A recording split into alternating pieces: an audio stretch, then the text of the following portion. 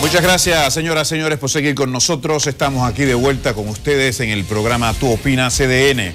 Este programa ha sido diseñado para escuchar la voz del pueblo, ¿eh? Y esto no es demagogia. Aquí no censuramos previamente a la gente lo que usted quiera decir, si es decente, si, si tiene calidad, si tiene propiedad, pues entonces tiene aquí eh, rumba abierta para baile. Eh, nuestras líneas, eh, líneas telefónicas, 683-8785. El tema de hoy, el tema de hoy es si cree usted que la reforma constitucional es un negocio. Eh, si es un negocio, si entiende que sí que es un negocio, pues en Twitter pone en arroba CDN37, que es nuestra cuenta, la cuenta institucional, pues sí, pone A, es un negocio. Si entiende que no es un negocio, pues con la letra B puede respondernos. Si no está seguro, pues usa la letra C. Y hablando de Twitter, estamos ocupando el segundo lugar en tendencias. Hemos subido del tercero al segundo gracias a la participación de ustedes por esta red social. Vamos de inmediato con una reacción por la vía telefónica. Saludo, buenas tardes. ¿Quién nos habla y de dónde? Esa era una reacción. Tenemos más. 683-8795. 683-8796. ¿Es la reforma constitucional un negocio? Buenas tardes. Bueno, eh, mi querido, buenas tardes. Mi nombre es eh, Pavarotti de Gualey, Oh, Pero de la hermana República de Gualey. Pero, Pavarotti, ¿en serio? Sí, Pavarotti de Gualey, de mi hermana República de Gualey. Déjeme decirle que más que un, que un abuso de- del Estado y, de- y de- y de- eh, la reforma constitucional Sí. con estos eh, con estos negocios que hacen Sí, señor. es el temor que tienen que sin ánimo de blasfemar ellos saben que para los pobres ha llegado el Mesías, Luis Abinader. Qué llamada. Ay, Dios mío. Ahí está, el Mesías. Es una palabra que usted no debería usarla para eh, dársela a un hombre, a un ser humano. El Mesías eh, es un título, un atributo exclusivamente para el divino maestro. Pero entiendo, ¿verdad?, su, su interés, su interés de, de- promover a su candidato y se lo respetamos. Pero no le diga Mesías, eh, que el único Mesías eh, eh, se llama Jesús de Nazaret. Saludos, buenas tardes. ¿Quién nos habla? nos hablaba.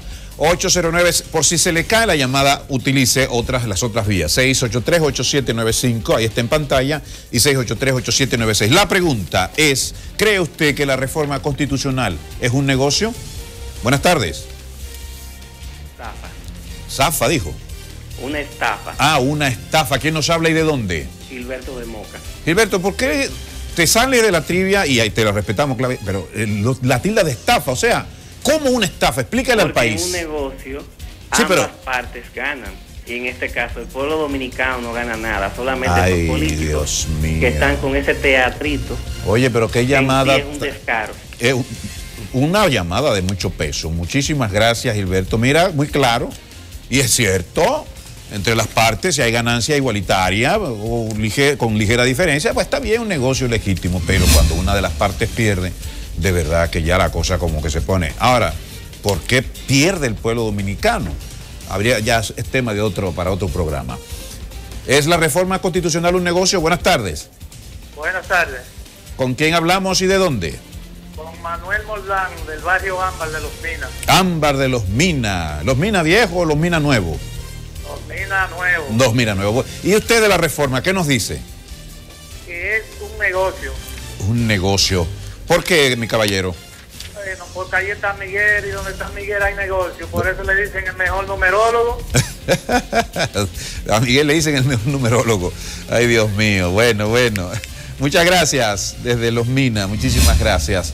Eh, señores, antes de continuar, tenemos a unos juristas que hemos consultado, ¿verdad? Expertos en ley y todo lo demás. Ellos afirman que se han violado todos los procedimientos legales para modificar la constitución que busca restablecer la reelección presidencial consecutiva.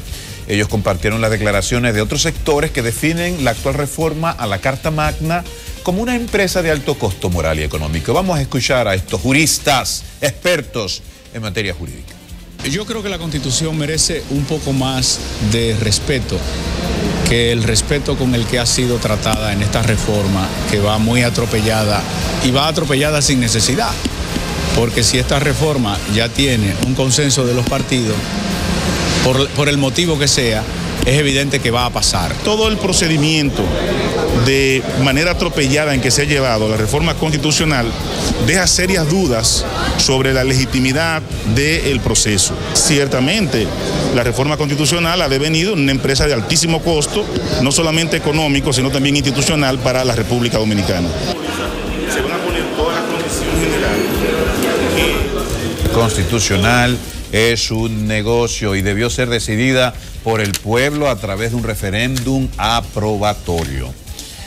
Pero yo no sabía, yo sí sabía que, eh, que Ángel Loco era qué sé yo qué, pero eh, de ahí a, que era abogado, claro, que estudiamos en la misma universidad. Cuando yo estaba estudiando Derecho ahí en Unicaribe, ya estaba terminando Ángel Loco.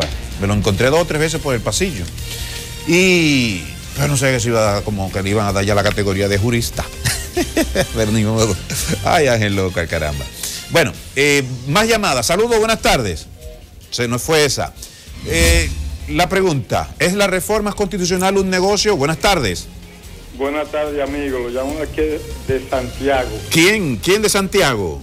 José Paulino. Adelante, mi caballero, la reforma constitucional. Hola, caballero. Sí. Ahí existe una delincuencia, ahí existe una corrupción, ahí existe todo lo que es robo total entre esos grandes poderosos que nada más son ellos que creen que son los dueños de la justicia, dueños del país y dueños de los pobres. Ay. Ellos quieren comprar a todo el mundo con 200 pesos y ellos salen multimillonarios de ahí. Quiere decir que de ahí sale una delincuencia terrible. Es ellos que comienzan los maestros de la delincuencia aquí en este país. Qué pena de este pueblo dominicano teniendo corruptos así en esa forma. Muchísimas gracias, mi caballero, por su llamada. Vámonos con las redes sociales, señores. Está bien, billeta, ya de hoy. Vámonos con las redes sociales a ver qué va a pasar, qué está pasando en este mundo tan, tan importante de las redes sociales, donde ya la gente ha estado opinando, opinando, opinando de una manera activa, dinámica, y como de costumbre, nosotros estamos leyendo sus opiniones. Vamos a ir, vamos a ir pronto a las redes. Villeta, ponme ahí a Gian José Paredes desde San Francisco. Dice, dando respuesta a su trivia. Profesor, póngame trivia con B de, de- de- de vino, de vaso. ¿eh? Eh, a usted no se lo perdono, ¿eh? Gian. Ojalá que haya sido el celular, ¿eh? Mm. Bueno, Luis Miguel desde Alaska por Sky está diciendo que es un negocio. Qué lástima que no podemos sacarlo a- en pantalla. Eh, ah, que tienen miedo. Ay, que. Pero se, señores, señores, pero ah, no me hagan eso. Aquí me ha apuntado José Ramón que la gente tiene miedo de salir en cámara. Hay 20, se- 20 personas en Sky de que asustados, que se ven feos, que no se han maquillado. Ay, no, no. Dice entonces el profesor Jean José Paredes, de- Paredes, pónmelo en pantalla, de José de Castillo Barahona, desde siempre todas las reformas han sido un negocio donde el que pierde es el pueblo. ¿Verdad? Ay, Dios mío. Vamos a ver, Yocandi Ureña, en tu opinas CDN. Claro que es un negocio, no hay democracia. Danilo no cumplió con sus palabras. Señores, de todas estas llamadas, de todas las opiniones, una sola. Y hemos recibido muchas llamadas, señores. ¿eh? Eh, Dani Martínez nos escribe a mí a arroba don Félix CDN y arroba CDN 37 y dice, claro que es un negocio. Ustedes habrán notado que yo le he pedido a cada televidente que me diga por qué es un negocio y, y, y lo, han, lo han dicho, han expresado. Si aquí se ha dicho, ¿verdad? Si aquí se ha hablado de alta política, eh, es gracias a ustedes, amables televidentes. Jenny Pérez dice, no sé si será un negocio, pero papeleta mata conciencia. ¿Eh? Papeleta, ahí me, me acordó eso del voto consciente. Eh, ¿qué, necesa- ¿Qué necesidad hay del voto consciente? Es un voto que no sea motivado por un picapollo, que no sea motivado por una chatica, que no sea motivado por 200 pesos, ¿eh? que no sea motivado por una cajita de esa que da el gobierno, por una fundita rastrera. ¿eh? ¿Con qué precio le ponen, señores, los políticos a la dignidad humana? Qué precio tan bajo, tan humillante. Eh, y, eso se lo debemos a todos esos gobernantes que, que, no, que, no, que no han invertido. Sí, Jenny Blanco desde Alemania, que está en sintonía, me dice que Danelis, Danelis Blanco, que votan por Chelito la gente, pero son los políticos, Danelis, que no han acostumbrado a eso, eh, que no han invertido debidamente en la educación de este pueblo. eh, y cuando ahora que se está invirtiendo un poquito más, entonces lo gastan en, en pendejadas. Así no. 809-683-8785. Buenas tardes, ¿quién nos habla? Sí, buena. ¿Quién nos habla y de dónde? Desde Montecristi. ¿Quién? Monte- Jesús Gómez desde Montecristi. Don Jesús, dígame de la, de la reforma, si es un negocio. Eh, yo, yo quiero contestarle al al que dijo del Mesías, que eso está muy malo. Sí, sí. Y ese Mesías que busca en la historia que Luis Abinader, Sí. ¿eh? Siga. Tú- tú sabes que eso es un negocio todo. Pero Sí. déjame decirte algo. ¿Puedo? Sí. Ah, pero venga Este acá. Mesías que busque la historia, Luis Abinader en el 96, su partido y su papá se fueron, Luis Abinader, se fueron con Leonel en contra de José Francisco Peña Gómez porque no le quiso dar la vicepresidencia de la República. Ay. Repite ese dato. Se fueron con Leonel Fernández, lo llevaron como candidato en su boleta. Luis Abinader, ese que está ahí. Porque no le quisieron dar la vicepresidencia, se la, se la dieron a Álvaro Bogán y lo dio Peña Gómez. Ellos la querían para ellos. Y abandonaron a Peña en ese Y momento. abandonaron a Peña, eso que están hablando hoy, porque aquí lo que hay es maquillaje en la política.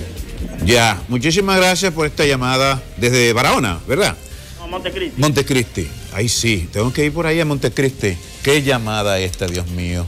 Ay, qué bueno. Por eso es que me gusta que la gente hable, darle plu- eh, oportunidad al pueblo dominicano para que se exprese. Pero lamentablemente me dicen ahí en producción que ese teléfono está en caliente. Usted le pone la mano a los teléfonos de aquí y se quema la gente la mano y se puede freír un huevo, pero no hay tiempo para más. Ah, Pero a las 11 de la noche sí vamos a continuar con estos debates. 11 de la noche el programa que está rompiendo. Rompiendo, ya usted sabe, NCDN, resumen final. Y les dejo con los príncipes del arte y del espectáculo, famosos Inside. Ahí está Maribel tomándose una selfie sin Samir. Vino. Vino ahí, vino. Ah, por ahí viene. Les dejo y nos vemos a las 11 de la noche. Bye bye.